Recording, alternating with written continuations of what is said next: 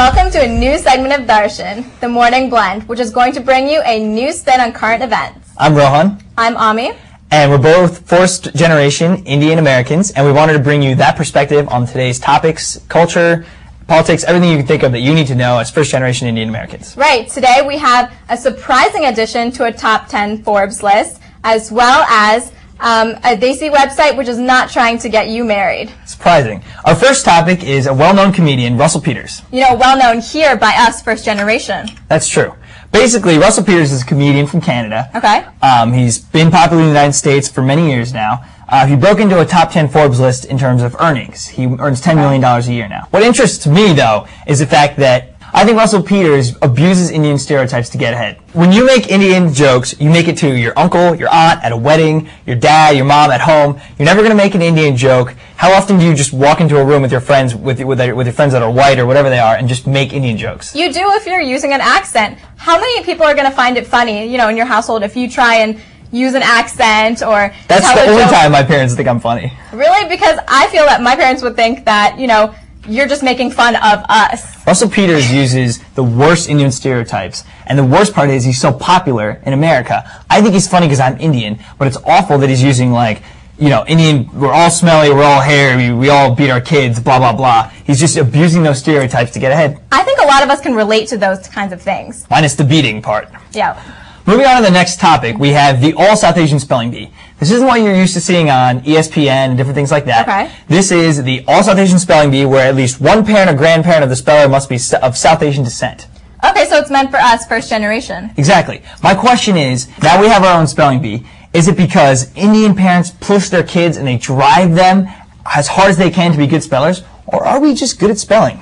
If I asked you to spell a word right now, you know, I don't think it would be spelled correctly. So I think that these parents are pushing their kids. I think that Indians are innately good spellers. We're hard workers. The parents raise their kids. They put them in different learning centers early on. They give them third grade books in first grade. Um, they're constantly being pushed, and that's just part of our culture. And that's why we're just whooping up on all these other kids in every region of the country. You just said we're hard workers. Well, you can work hard to achieve this kind of goal.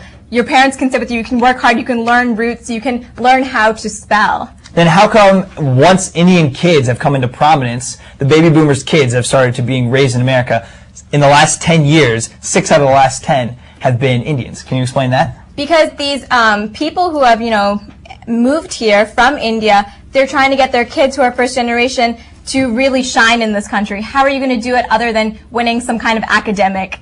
I guess so, but all kinds, Koreans, Germans, French people, all their, all these immigrants kids are all pushing, they're all in the spelling bee and they're all trying as hard as they can, and look who's rising to the top. Moving on, next Fine. topic. Edison, New Jersey. Our favorite town. Here we have, you know, administrators trying to implement a Hindi program in high schools. Here's the problem. They're spending $90,000 on Okay. a trip to India that includes a 12-day sightseeing trip to learn from the Indians how to teach Hindi in America.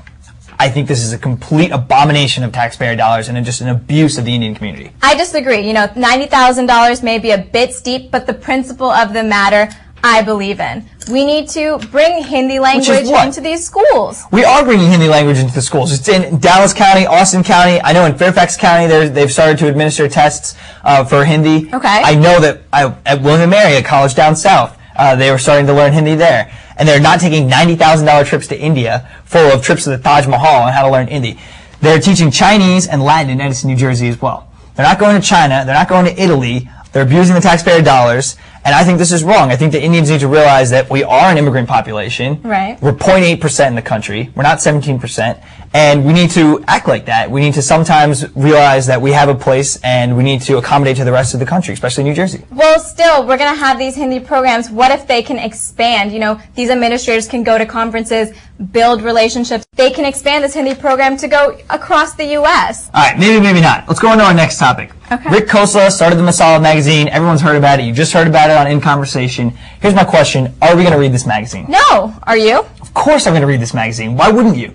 Well, are you going to read the Bollywood gossip in here? I, no. No. Are you going to read about the college tips? Probably not, but I'm going to read You're about the college. I'm going to read about the main thrust of the magazine, which is what sells it off the shelves. The connections that the magazine will give you, the information about South Asian successful businessmen and women in every professional field in the DC metropolitan area. Can't you get that from people in your family who've pursued careers just like this? Hmm, maybe, but your scope is limited. How else are you going to know about all the successful, the real, the top down? You, are going to be looking at the forest, not the trees. You, you have to see the real thrust, and that's what Masala is going to give you. Okay, well, I was reading his Twitter. He seems like a little bit of a fob. Is he going to have all these connections? Clearly, he does have the connections. By the way, I read his Twitter too, and he's rolling around in an Escalade. So All that's pretty impressive. Also, he has the Indian ambassador uh, coming to his kickoff party for the Okay. magazine. I mean, I hadn't heard of this guy. I don't know about you. He came out of Before. nowhere. He's from out of Punjab. He's Right. clearly Indian and American. He's the perfect blend um, to reach out to us and want to make me make me want to read this magazine. What are we going to get from this magazine? We're gonna get a product that gives us South Asians that are successful. That no one. How else are people gonna find out about it? Word of mouth isn't the way that this community is gonna keep getting ahead. We need to know about each other all the time, and Masala is gonna provide that. Okay, who says people aren't going to just pick up the magazine, read it, and then put it back on the shelf? That's what they can do with any magazine. The point is that we're Indians and we care. Bottom line, I'm not going to read this magazine, so you're on your own. All right. Finally, we have mylifeisdesi.com. It's kind of like My Life is Average, which is another blogging site. What's interesting is this website, you just post like 140 character sort of quick stories, and it shows the disconnect between your parents and you. I know, so basically all these are just, you know, funny ways to make fun of your parents or, you know, talk about awkward situations. Exactly. It just shows the disconnect, and we're trying to bridge that gap with this segment. Uh, here's a funny one. Today, my mother is preparing 10 different dishes for lunch. There's only one guest coming over. My life is Desi. Today I was reading some MLID, My Life is Desi posts to my parents. They just stared at me and said, So, what's wrong with that? My life is Desi. Today, my mother broke a plastic spoon in half just so it would fit in the sugar container. My life is Desi. My dad was coming to pick me up at 7, and he said he was 5 minutes away. He ended up coming at 8.30. My life is Desi. Today, I couldn't sleep because the cheap zoom in effects from the Indian soap opera kept waking me up. My life is Desi. And we think that yours is too. Thanks for watching the show. See you next time.